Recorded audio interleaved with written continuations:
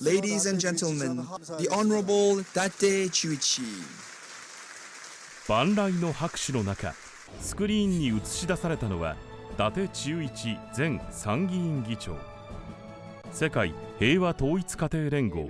旧統一教会などが主催するイベントにおととし8月オンラインで参加していました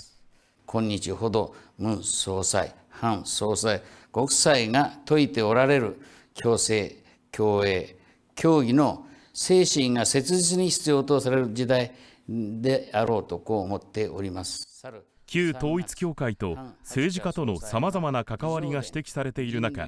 今回明らかになった事実。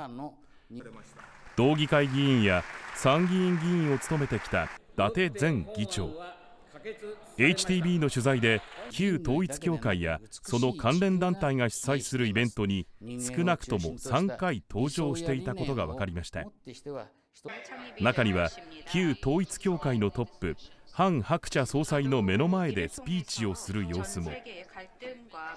イベントに参加した理由を伊達前議長に直接聞いてみると。安倍さんが、いや、統一教会に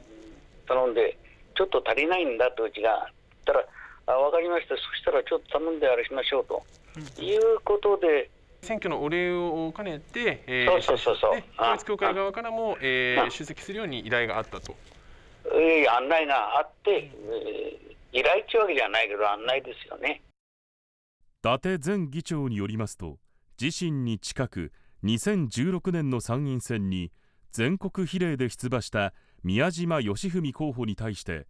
旧統一教会からの票の割り振りを安倍元総理に依頼していたといいます。宮島候補は参院選で当選。その後旧統一教会が主催するイベントに参加した宮島氏はこう挨拶をしていました。昨年7月の参議院選挙で皆様方の応援をいただき当選させていただきました。この場を借りまして厚く御礼を申し上げます。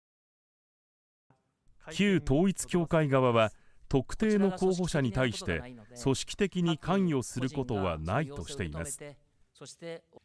旧統一教会と政治家との関わりが次々と明らかになる中自民党は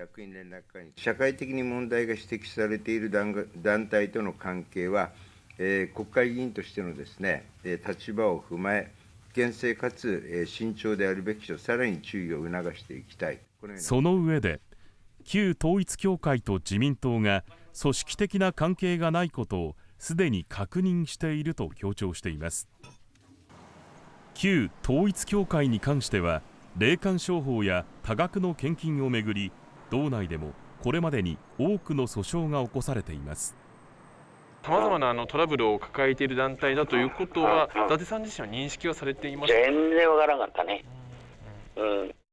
一方で伊達前議長は旧統一教会などの主催するイベントに参加した際に謝礼金はもらっていなかったと説明していますもし今後ですね、あの同じような参加の、えーご案内ないないないないないないない。あってもいかない。